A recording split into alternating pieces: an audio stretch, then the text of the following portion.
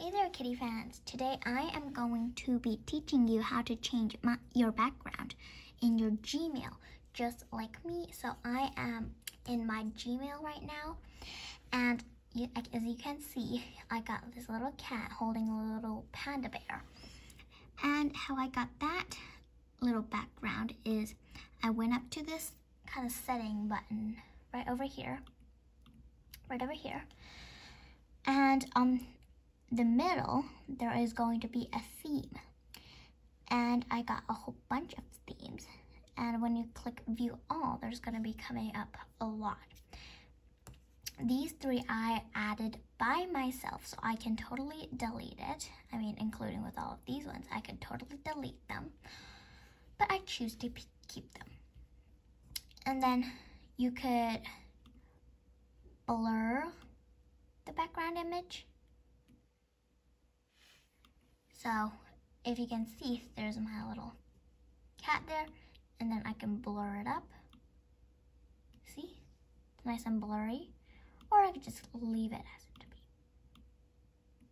There we go. I can also make the corners darker. So you can see that. Or I could just keep it light.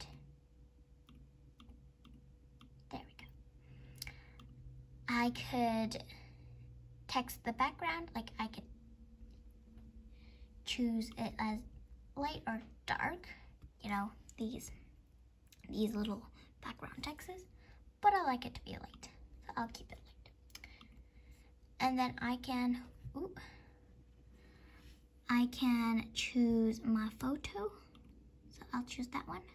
Ooh, actually, I'll choose this one. Oh, that one's so cute. I'll choose this one. And then, if you want it to be nice and normal, you could just click this one or this one to be the default or the high contrast. I could have it as like a whole bunch of different things, or I could just add my own photos, my photos, and then I could just add mine. Let's say I want, hmm, I want this little kitty right over here. Choose it, and then on the bottom over here, it will say select. Select it, and then it's over there, and then I got my little cute kitty. make sure you gotta click save, or else it won't do anything. So save it, and then I got my little donut kitty right over here. Did you guys learn anything new? Comment in the comment section below.